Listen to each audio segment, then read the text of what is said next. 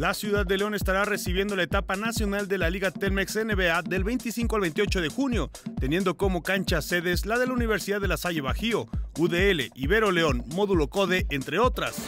Sí, así es, hacerles la mayor de las invitaciones a que se acerquen a este nuevo módulo multidisciplinario de CODE Guanajuato, precisamente en la Deportiva León 1, en donde tendremos la inauguración de este campeonato y también la participación eh, de todo el talento de la NBA, como las porristas, como los acróbatas, como una mascota también de los Timberwolves. Basquetbolistas de 11 a 16 años de edad en ambas ramas se darán cita para vivir la emoción del deporte ráfaga, donde se contará con representantes y porristas de equipos de la NBA. Por su parte, Guanajuato estará representado por 8 equipos para un total de 105 atletas en ambas ramas.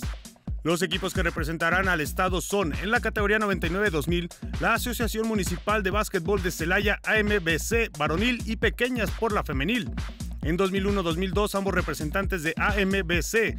En la 2003 por los varones AMBC Lombing y en la femenil de Celaya y Tesba AMBC. Finalmente en la 2004 en ambas ramas va Panteras de Acámbaro. Algunos que fueron participantes en entonces de esta liga pues algunos ya consolidados inclusive en NBA, en la selección mexicana, y bueno, también los talentos guanajuatenses que nos están representando en las diferentes instancias, pues han pasado por esta, por esta liga.